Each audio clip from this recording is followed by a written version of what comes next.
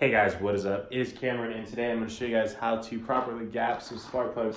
If you guys are new viewers out there, be sure to subscribe, smash that like button, and comment down below what you guys want to see in future videos. Without further ado, let's get right into today's video. So if you guys want to save 15 to $20 every time you guys do your spark plugs, it's pretty easy. Just buy some ungapped spark plugs and gap them yourselves.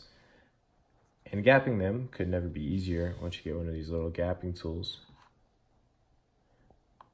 This spark plug right here is already gapped, so I'm just gonna give you guys the gist of what to do, and you guys will be able to save 15 to $20 on your own as well.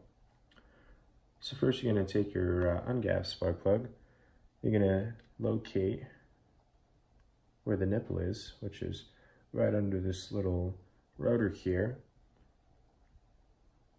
And the distance between the rotor and the nipple is what's called spark gap or gap.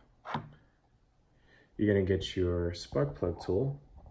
You're gonna go to the lowest point specified on it, which in this case is 0.020 inches.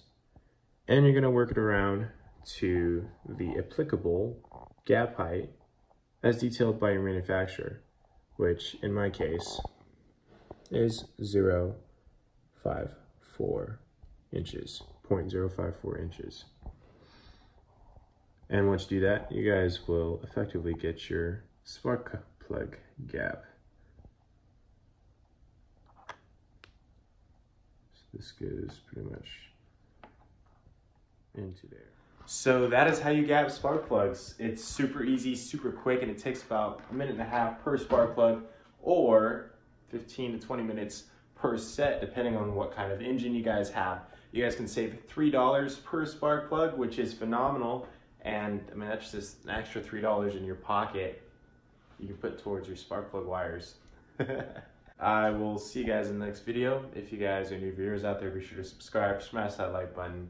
And yeah, I hope you guys have a good day slash night wherever you may find yourselves. Peace.